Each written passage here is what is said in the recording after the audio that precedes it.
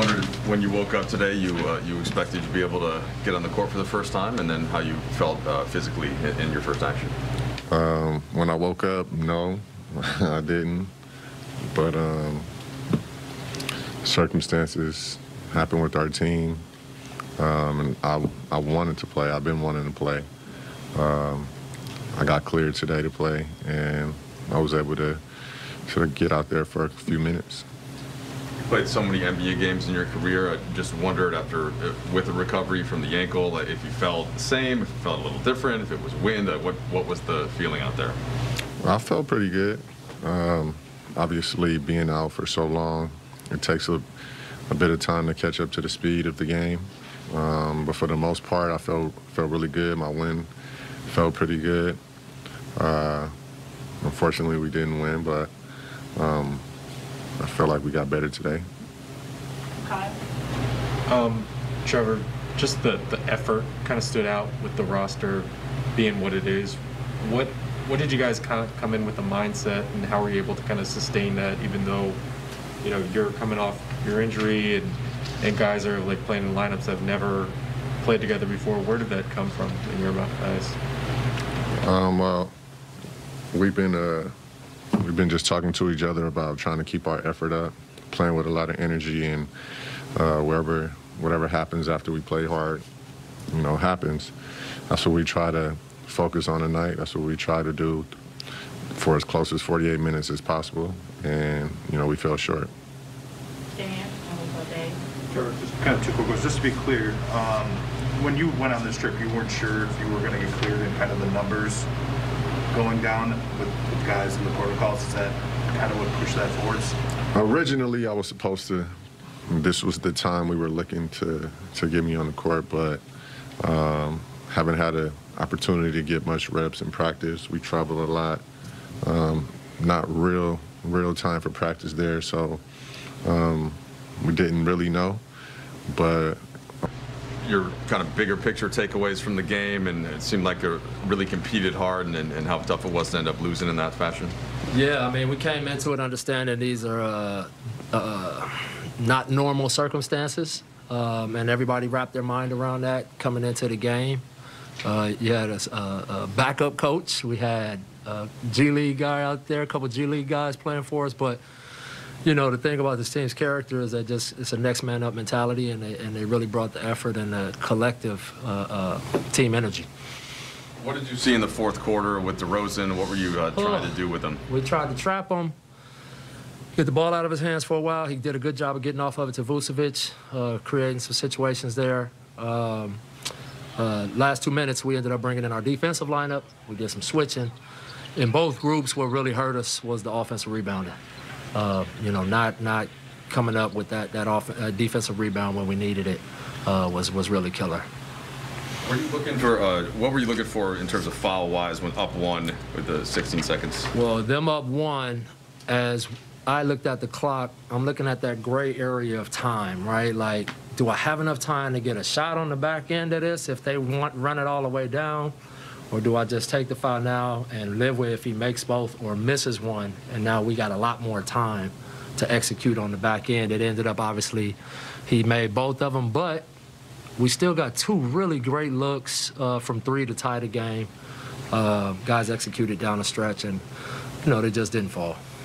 But you know, as a coach, you always kick yourself. Should I? Should not? But it's that five seconds.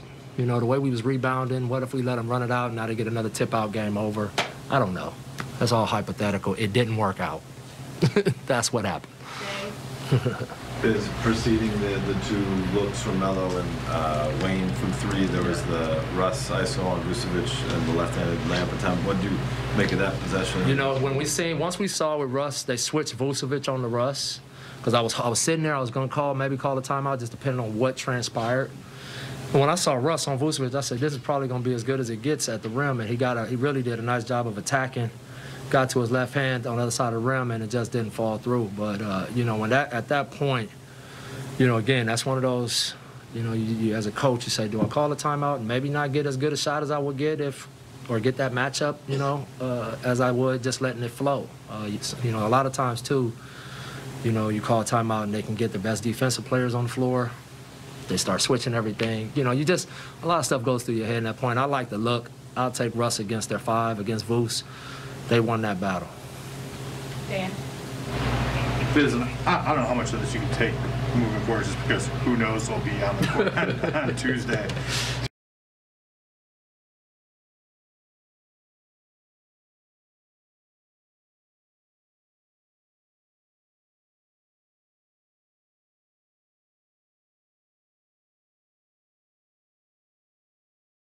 Too, but as this team moves forward without without AD, did you see it, things in the second quarter and then in the third quarter, offensively, defensively, that that maybe could be sustainable for, for stretches? Yeah, because I think what the team really wrapped their mind around was how much we need to move the ball to be a good rhythm offensive basketball team. Because you don't have AD to book in 22 to 24, you know, maybe 30 on some nights.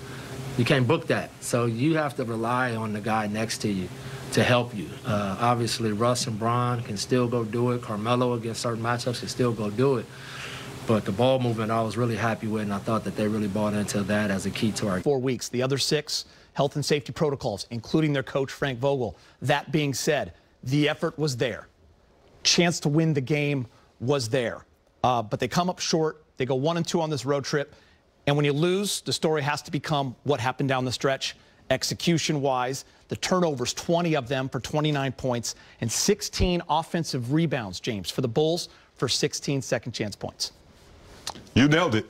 If I don't say anything else, you just nailed it right there because uh, when you have opportunities to win the game, you have to take care of the little things. And, you know, uh, great defense for 24 seconds only to give up uh, a second and third opportunity. And that alone, like, like when LeBron blocked that shot and they couldn't recapture that rebound, it's really demoralizing uh, to your defense. You just really have a big letdown. And but uh, I thought the fact that uh, they came out with a shortage of players, put Isaiah Thomas in there in the mix, Ariza coming back. I thought they played really well, distributed the ball very well when they needed to. They just came up a little short um, when they needed to get some some rebounds. And you can't give up 16, off 16 offensive rebounds.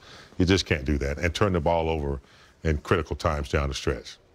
Yeah, you know, I, I, you look at this game and you watch the way the, the Lakers played. They played really good. They played very good. Yep. They moved the basketball. They went to some plays that she said, okay, this is what you need to do down the crunch. You know, they went to LeBron the post, and he was a facilitator from the post. You know, he, he got some shots there. You didn't knock him down, but you do have to sometimes say, okay, a better team won. I think the way DeMar DeRozan played tonight, 38 points. 38 points, Gator. Hey, hey, I want to tell all these people who are into analytics, 38 points, how many threes he shoot? Zero. and so this is my whole point about analytical and shooting threes. It ain't about get shooting threes, it's about getting buckets. Yeah. And that's what DeMar DeRozan was doing down the stretch, getting buckets for the Lakers, and they found no way to stop him.